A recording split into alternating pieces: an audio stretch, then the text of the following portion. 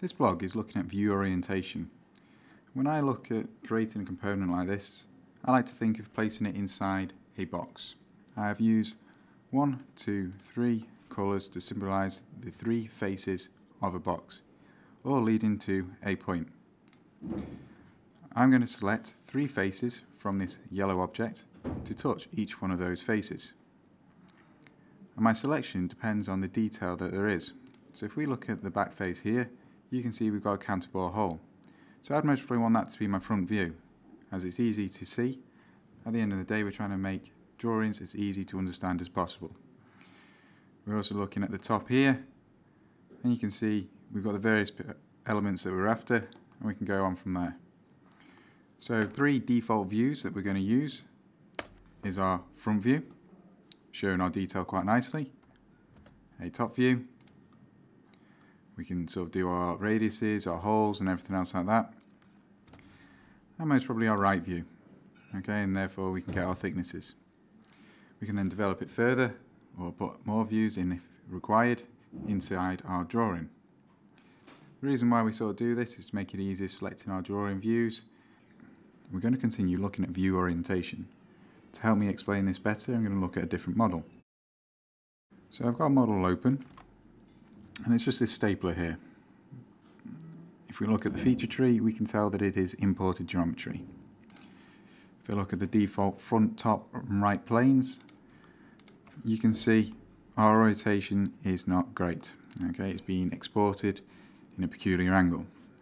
If we press spacebar, we can see using our view selector that it's not in a pleasant angle to do drawings from. So if we selected front view, for example, it's not particularly useful to us. As I say, through support and through training, we've been asked, can you reset these views? Well, the simple answer is yes, and that's what we're going to take you through now. All I'm going to simply do is select these two faces, press spacebar, and click this normal to option. What you can do then is sort of set your orientation as you wish.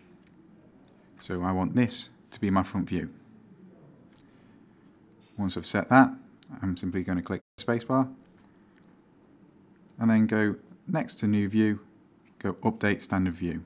When you click on this tool, it asks you to select what do you want this view to be. Well, I want this to be my front view. It says that it's going to change the other views. I'm okay with that. I'm going to click yes.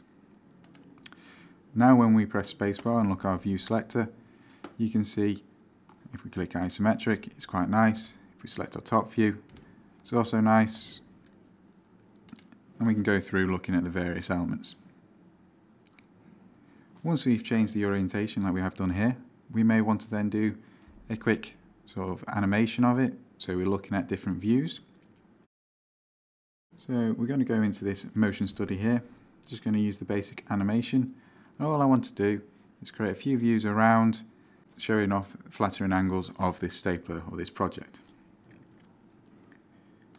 Basically how this works is that you'd set everything by keys. So maybe right at the beginning you might want an isometric view or something like that. Okay. Then at two seconds, so you want right at the beginning, you want an isometric view.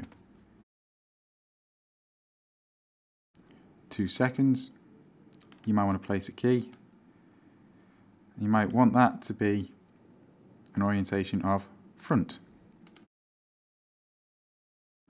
At 4 seconds, you may want the right view. So I'm going to place another key. If we just go through that, you can see what we've got at the moment. We'll make sure that they have been set correctly. So it goes from isometric to our front view to our top view, uh, to our right view, sorry.